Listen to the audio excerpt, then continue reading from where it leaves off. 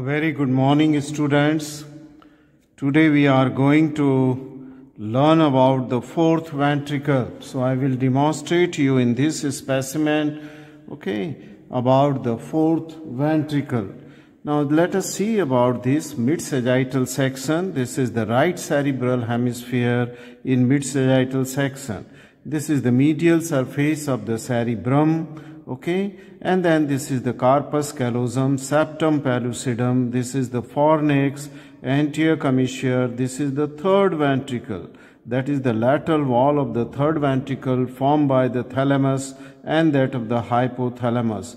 This is the Uh, hypothalamic sulcus okay or the subthalamic sulcus and you see that it starts from the interventricular foramina which connects the lateral ventricle with that of the third ventricle and third ventricle is a midline structure. If you trace the third ventricle then it becomes continuous with this midbrain where there is a presence of a canal what is called as the cerebral aqueduct okay? The csf which is produced in lateral ventricle it comes in the third ventricle then from third ventricle through this cerebral aqueduct of the midbrain it comes in the fourth ventricle. So this is the fourth ventricle. So this is the floor of the fourth ventricle and this is the roof of the fourth ventricle. So this is space which is located in front of the cerebellum in the mid-sagittal section is the fourth ventricle which is lying behind the pons and the upper part of the medulla okay?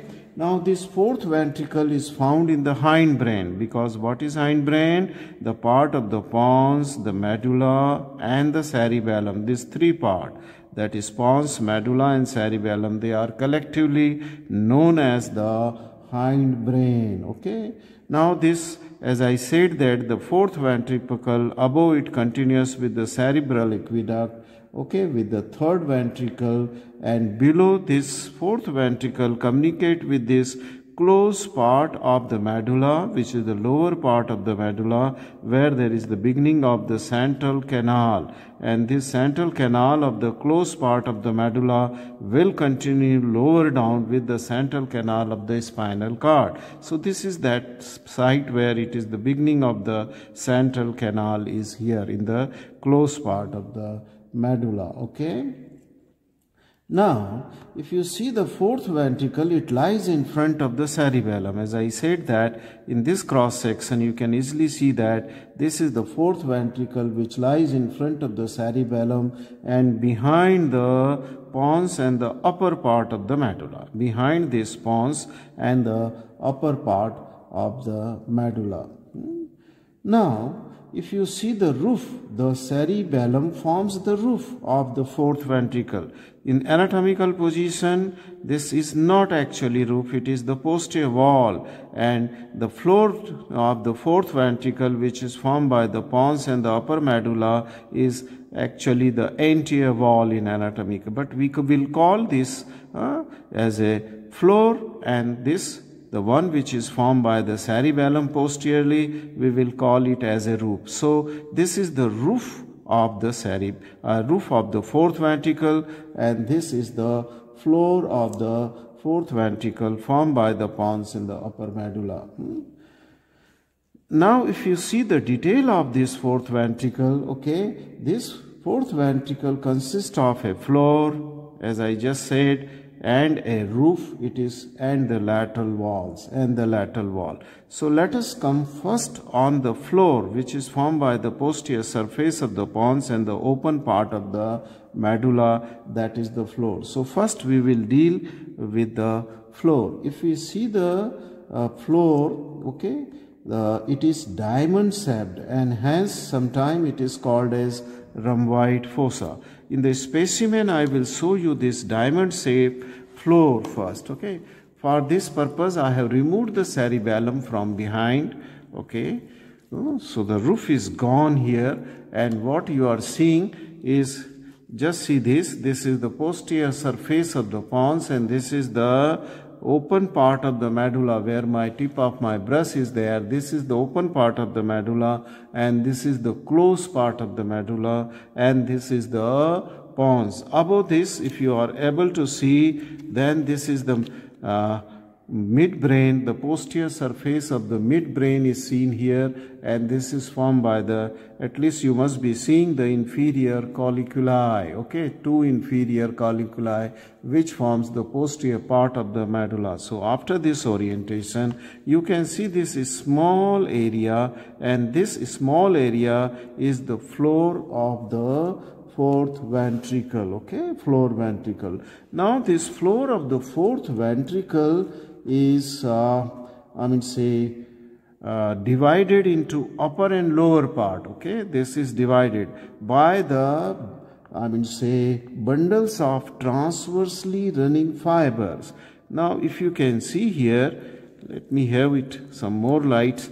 Uh, this is the, can you see these ridges here? These are transversely running fibers in the floor. If you can zoom it in your, I mean, say, laptop or the mobile okay and see these transversely running fibers and these transversely running fibers they are called as stria medullaris they are called as stria so on right side and left side okay there are stria medullaris fibers. They are running laterally and they divide the floor of the fourth ventricle in upper part and in the lower part. So above stria this is upper part of the floor and below stria is the lower part of the floor okay of this rhomboid fossa.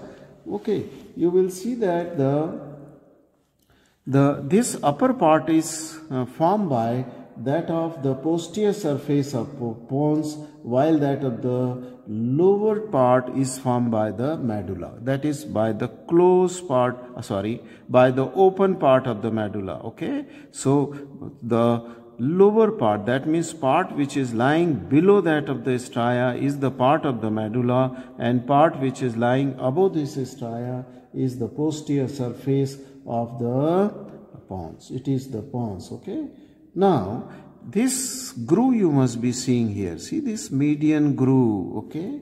You are seeing this median groove. It is called as the median sulcus. And since it is present in the midline, this part is called as the median sulcus because it is exactly present in the median plane and it divides the floor of the fourth ventricle into right and the left half. It divides into the right and the left half.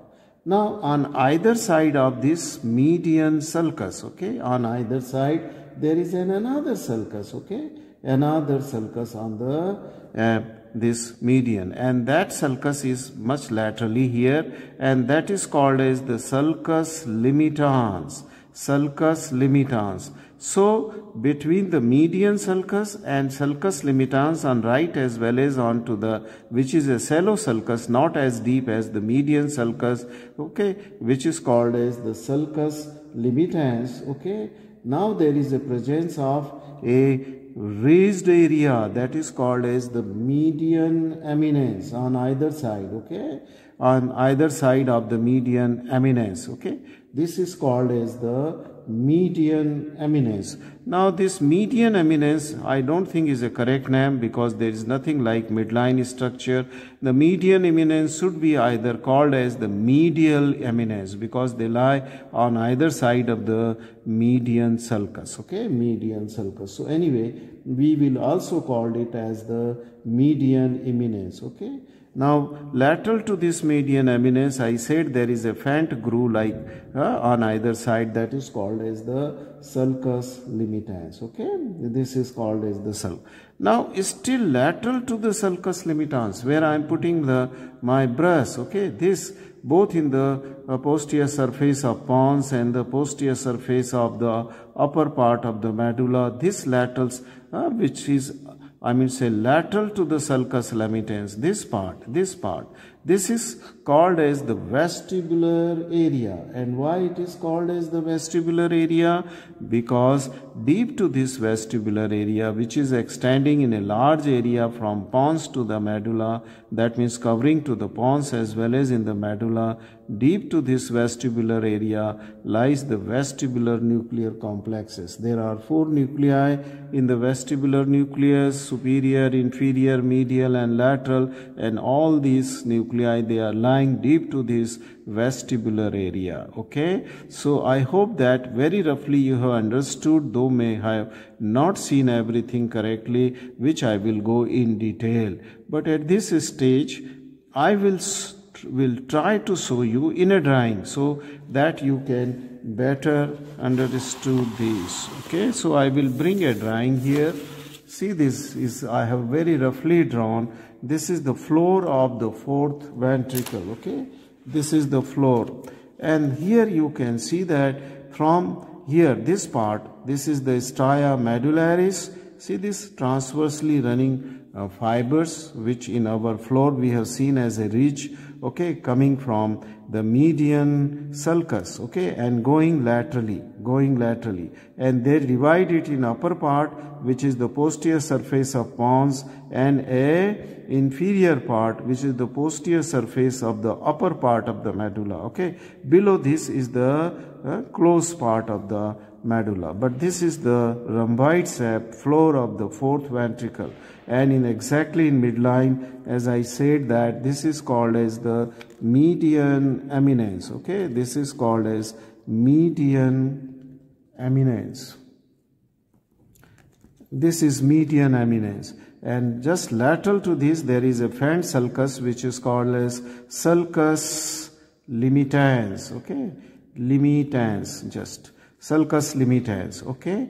And then whatsoever part lies lateral to the sulcus limitans extending in the pons this part is of pons and this is of medulla. So from here to here this large area okay is the vestibular area. It is called as vestibular area. So this is the vestibular area okay? Now this ridge on either side of the median eminence is called as the medial, I mean say median sulcus, not median eminence. Here it was the median sulcus.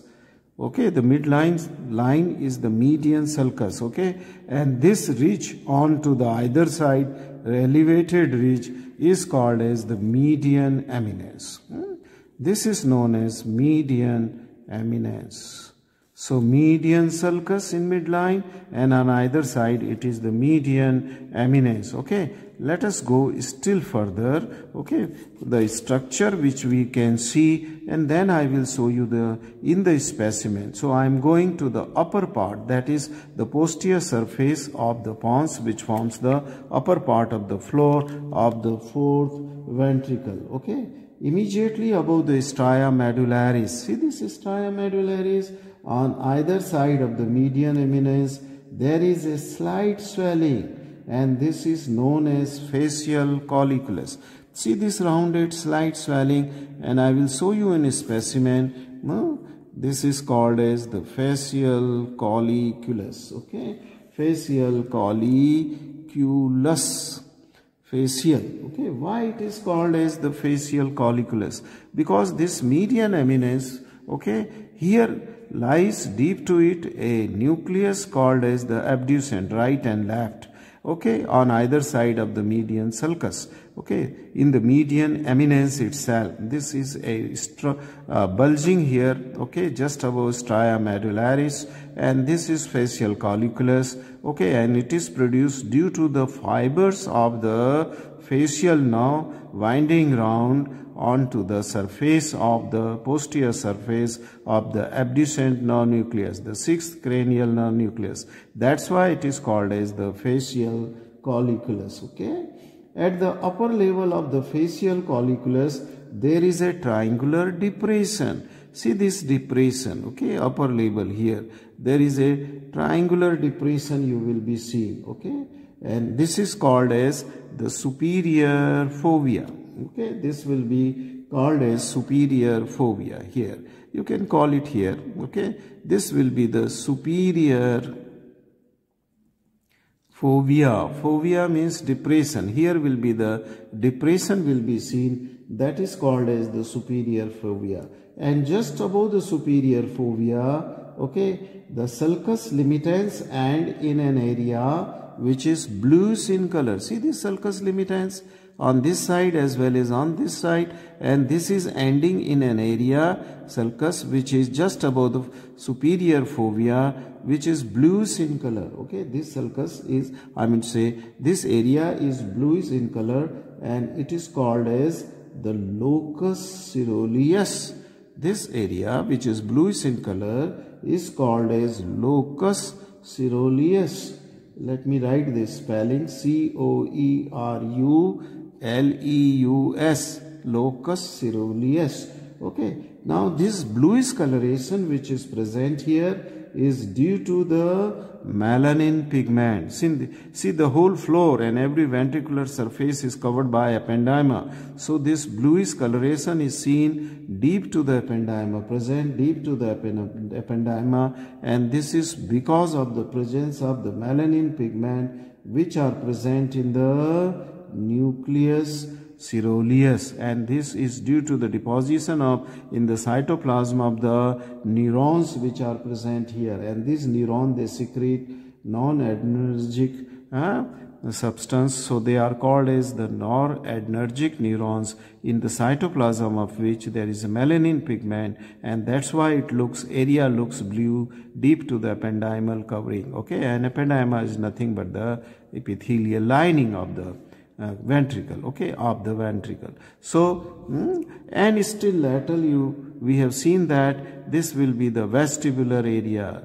Lateral to that of the facial colliculus and sulcus limitans okay sulcus limitans so these are the structures which are present in the floor of the fourth ventricle in the upper part. That means above the stria medullaris. Let us see the structures which are present hmm, inferior to the stria medullaris which i said this lower part of this floor of the fourth ventricle correspond to the posterior surface of the medulla oblongata okay? And here if you trace this sulcus i mean say medial eminence and sulcus uh, uh, median sulcus it will continue here. So the median sulcus is continuing here.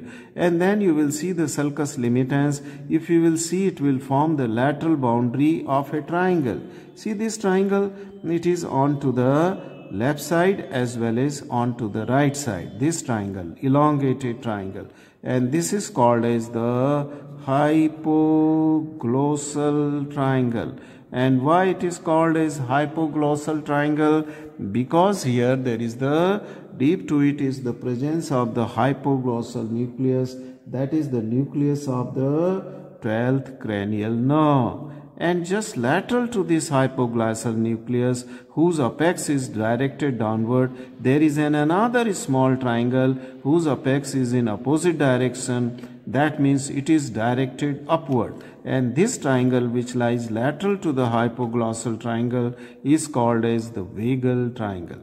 And this vagal triangle is because the deep to it lies the vagus nerve that is the 10th cranial nerve nucleus of the dorsal nucleus of vagus the 10th cranial nerve and also, at the same time, there is an another nucleus lying in this area triangle that is called as the nucleus of the tractus solitarius, okay, or the nucleus of solitary tract. So, this is the vagal triangle for vagus nuclei, and this is the hypoglossal triangle for the hypoglossal nucleus. And still lateral to this, this area, we already know that hmm, a large area is for the vestibular area, okay, for vestibular nuclei.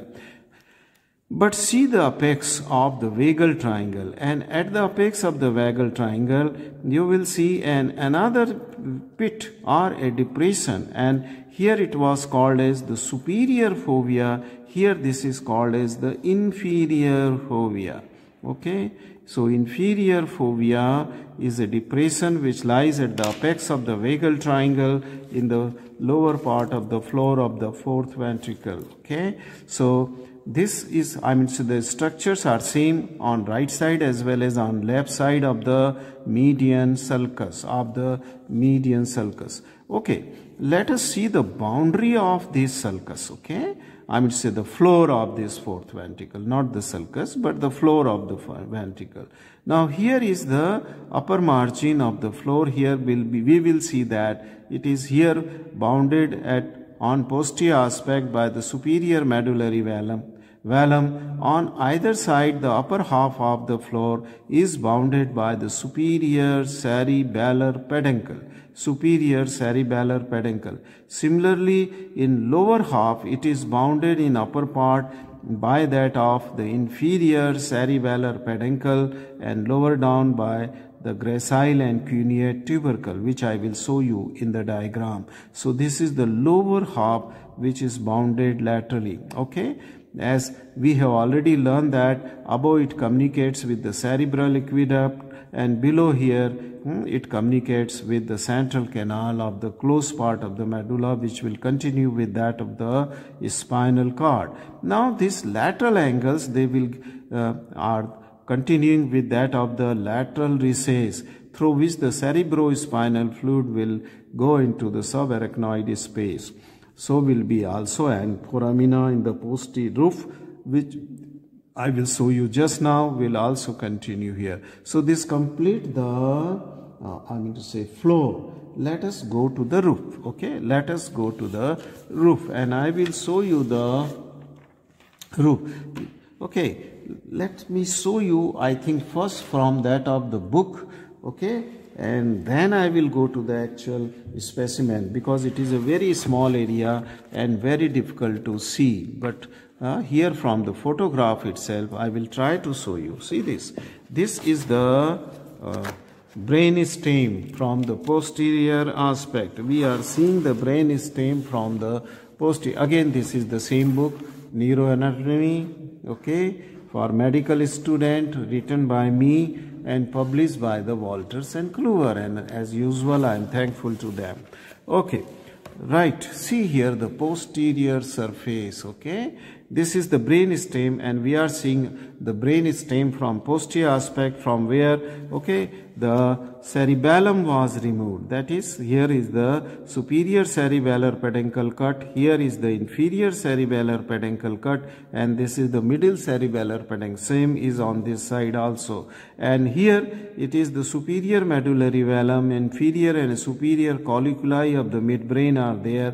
That means below this is the part of the pons and here is the closed part of the medulla and this is the open part of the medulla and the posterior surface of the pons. You can see here the stria medullaris, this band, okay, this ridges which you are seeing is the stria medullaris which is dividing the floor in upper part and the lower part. This is the facial colliculus, okay, this swelling. This is the sulcus, okay, median sulcus and sulcus limitans will be still lateral which you may not be able to see very properly because this is such a small area. Yes, some of this sulcus limitans is seen here.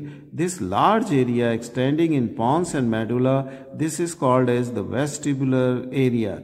Now you can see here, okay, if the camera is focusing properly, you can see here, let just wait for it to focus. Here it can see be seen a triangular below the sulcus, I mean say below the stria medullaris, this whose apex is directed downward. This is a triangle called as the hypoglossal triangle. And there is an another small triangle seen here and whose apex lying here okay upward. And this is the vagal triangle. So this will be superior fovea okay? It will be superior fovea. I will try to show you all this thing in the floor okay? But since the light adjustment may not be so efficient here i may not be able to show you the complete thing though i have dissected the cerebellum and taken it out, okay, taken it out, cutting those three peduncle by which it was attached to that of the uh, brain stem. This was, this is the cut portion of the superior cerebellar peduncle, okay. This here is the large middle cerebellar peduncle.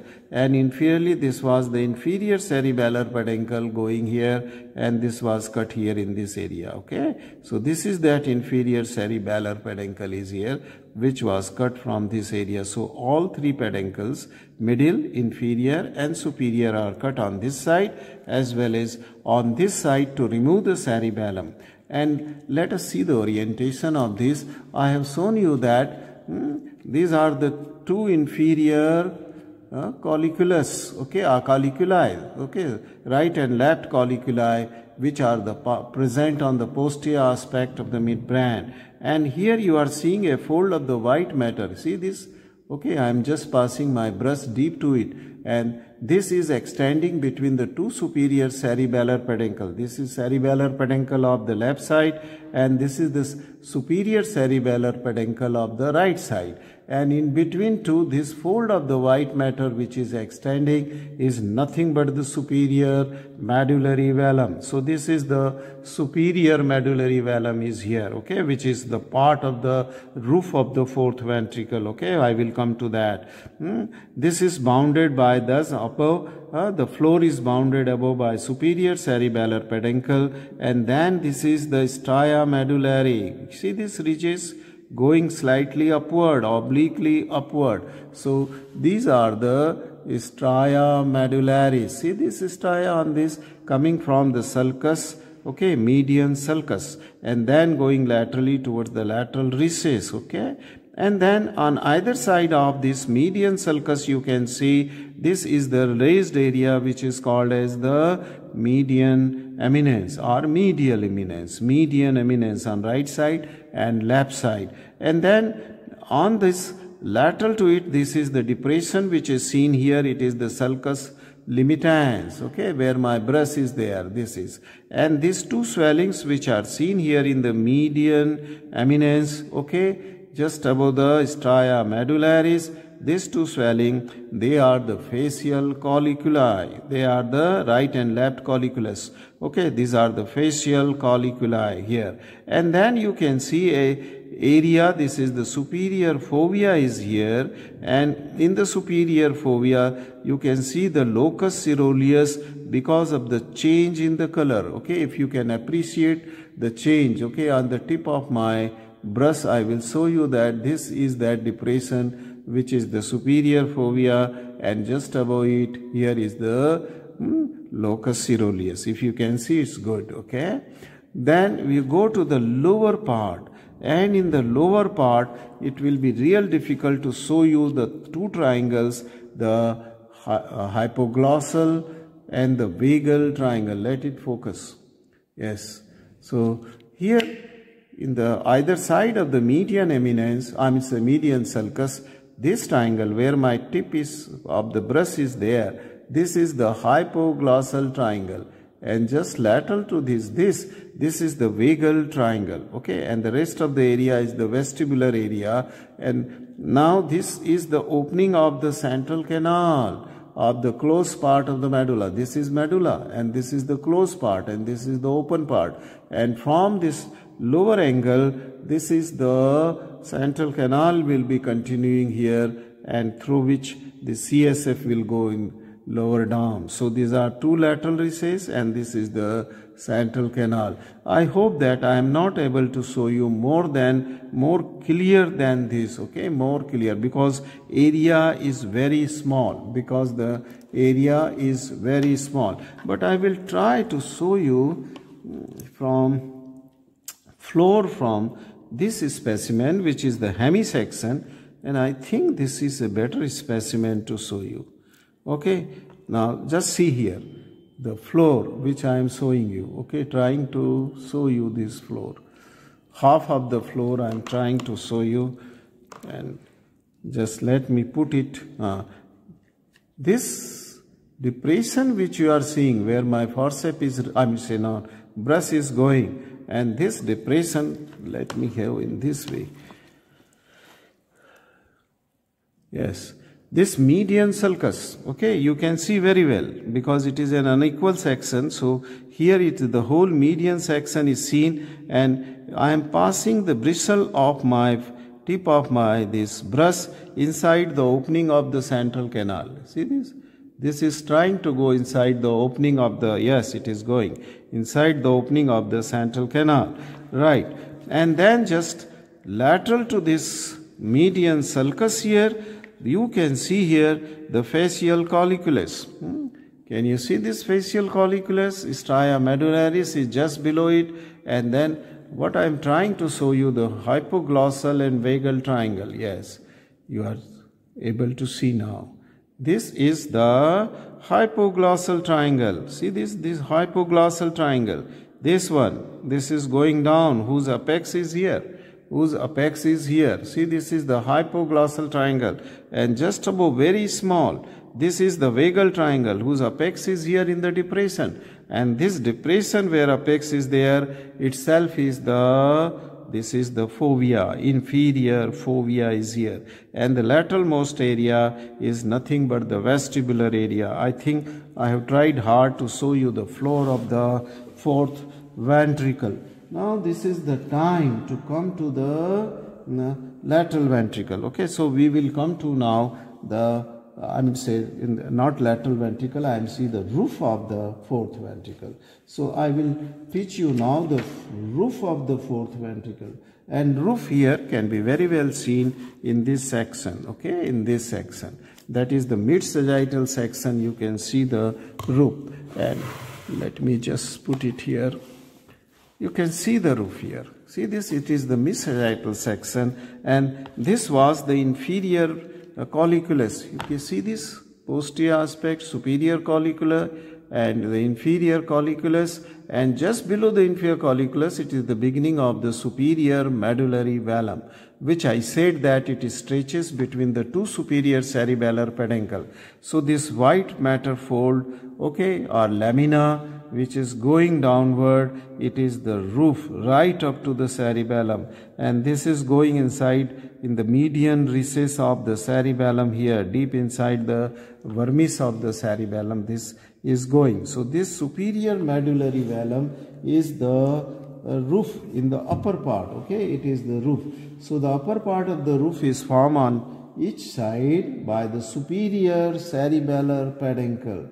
The interval between this peduncle is bridged by this thin sheet of the white matter which is called as the superior medullary velum. So this is superior medullary velum is here, okay, superior, which is the upper part of the uh, roof, okay. Let us go to the lower part of the roof. Now this is the lower part of the roof and in the lower part the roof is formed by the similar white matter, I mean to say lamina, which is called as inferior medullary velum okay and in the remaining part it will be formed by the fold of the dura and ependyma called as the tela choroidea. I will just show you by the um, diagram. It is difficult to show. Uh, see the inferior medullary velum.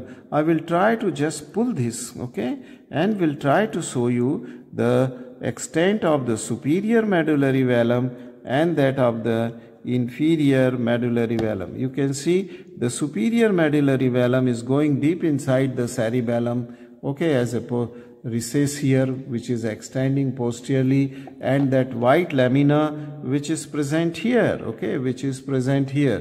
This is the inferior medullary velum which is partly seen. But better before I show you the inferior medullary velum, let me explain you with the help of the diagram how the roof is formed. Okay, again the book. Hmm?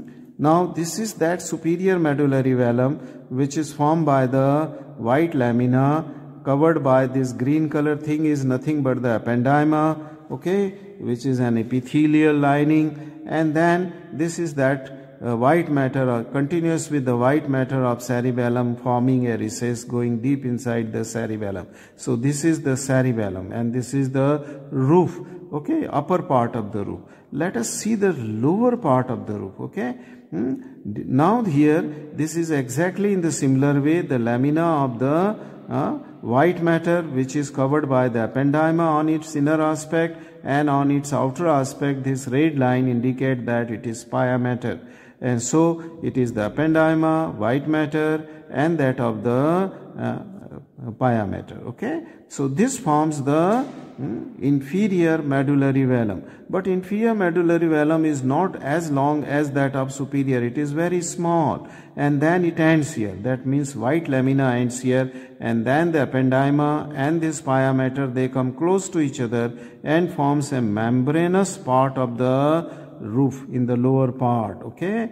And this is just the membrane formed by the ependyma and then of the pia which is called as tela choroidea when the two things that is pia and ependyma they come close to each other it is called as the tela choroidea and deep to this lies this uh, choroid plexus, okay, choroid, which secretes the CSF, okay, which secretes the CSF through this tela choroidea into the cavity, okay.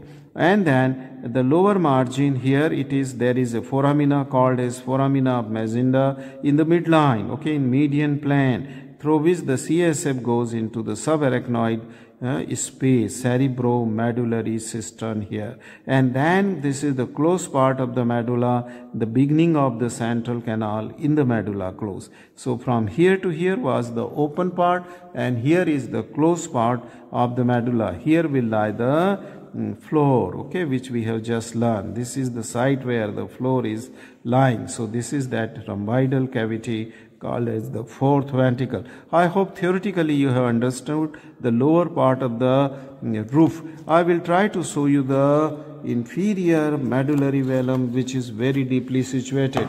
The membranous part of this has already broken, okay, which is very delicate. So I will not be able to show you that hmm, uh,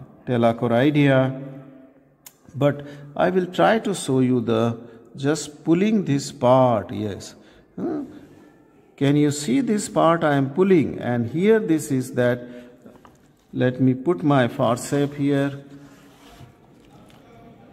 This small part here, this part, can you see this part? Yes, this part, this is the inferior white lamina. This is superior medullary velum and this part is the inferior medullary velum okay? And the margin from this inferior medullary velum which is the lamina white matter uh, lamina here will come the membranous. It will become the membranous structure which is broken okay? Very delicate here. So this is the roof in upper part superior medullary velum. In inferior part, deeply situated, is the inferior medullary velum and the tela choroidea, which is the fold of the membrane. Okay, and here in the midline will be the aperture, the foramina Magendie.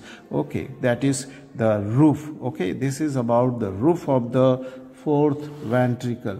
Let us come to an another aspect of the fourth ventricle that the whole of the fourth ventricle is lined by that of the it is lined by the ependyma and contain the choroid plexus of the fourth ventricle. Let me show you the choroid plexus of the fourth ventricle, which is near the lower part of the roof. Can you see this? Just a minute. Can you see this tuft of the capillaries here? See this? Hmm? bunch. Okay, very delicate structure here. This is the choroid plexus of the fourth ventricle, which goes through the lateral recess. Okay, and the ependyma, I told you that telachoroidea just being pushed here inside to form the uh, this choroid plexus. In this diagram, I have shown you that there was this is the telachoroidea membranous structure and this was the choroid plexus and this will form the choroid plexus of the fourth ventricle will be here okay? It is the now let us see the we have seen the roof we have seen the floor and i have told you the lateral boundary but now i will show you the lateral boundary with the help of the diagram okay? How it is bounded above and how this it is bounded below okay bounded below let me show you with this diagram i hope i will be able to show you Okay, now this is the lateral boundary. Above it is bounded by the two superior cerebellar peduncle which are bridged by the superior medullary velum.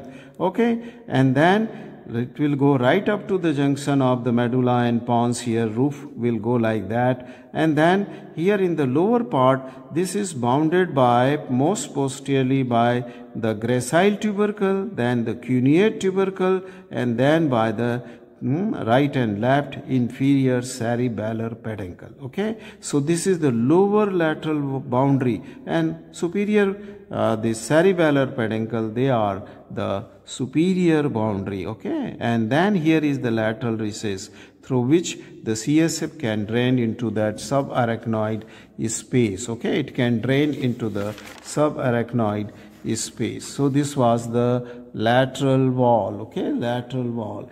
And thus how many openings are there? There are three openings in the roof. One is the foramina Magendie yes which i am showing here with the brush this is the midline opening and the two openings were on the lat as a lateral recess through which the CSF will come now into the subarachnoid space of the brain and will circulate all around the brain okay? It will circulate all around the brain. And then I think this diagram may give you a, some idea about the roof this is the inferior and superior colliculus, means this is the midbrain. This is the superior medullary velum, which forms the upper half of the roof. And this is the inferior medullary velum, okay. Then this becomes a membranous structure, okay.